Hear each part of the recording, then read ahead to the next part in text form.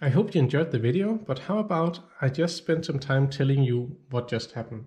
This is the LEGO Technic Mack LR electric garbage truck, and I've motorized it using some standard LEGO components. And of course, I'm controlling it using the remote control from the LEGO City trains. This is all made possible using Pybricks. I have made other videos with Pybricks. If you want to do this yourself, I've made programming for it that you can just use. And I link to both Pybricks, the code, and another video of mine showing you how to program it in the description below. I find that this garbage truck is the most interesting of the new LEGO Technic sets that just came out here in the beginning of 2024.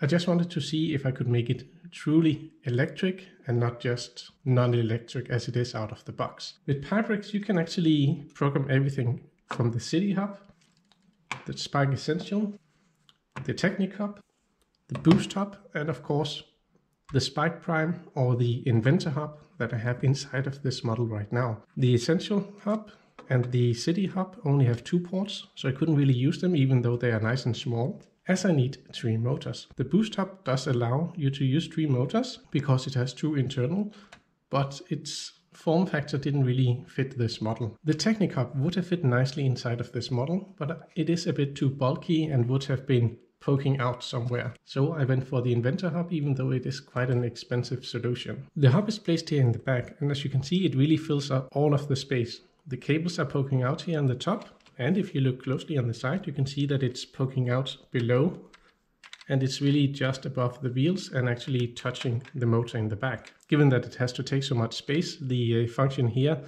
isn't perfect anymore. Luckily, there's so much space in the back that you can still use it for its intended function, so it's still a toy that isn't completely compromised. Let's take a look at how the motors have been incorporated inside. First I take off this side here, then the top, this little tray and here you can see one of the motors. It is simply going directly to the arm.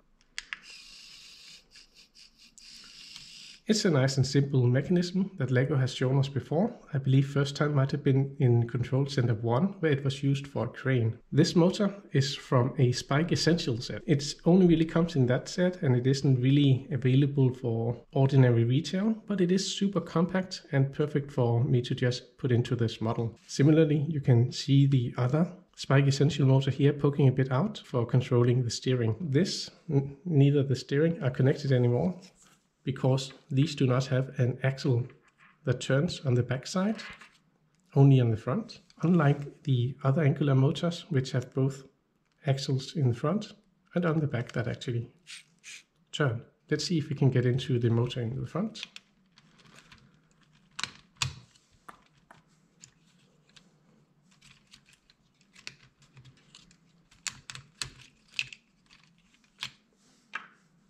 And here it is and I can control it using the remote.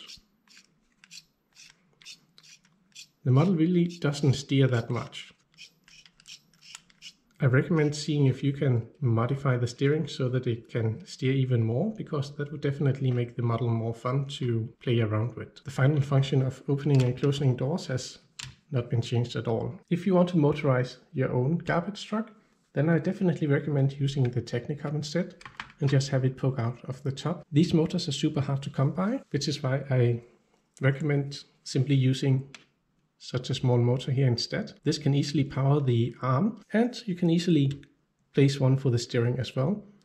They might poke out just a little bit, but does it really matter? I don't really think so. I just wanted to make the optimal setup for this model right here. And that is it for this video. Let's end with some outtakes.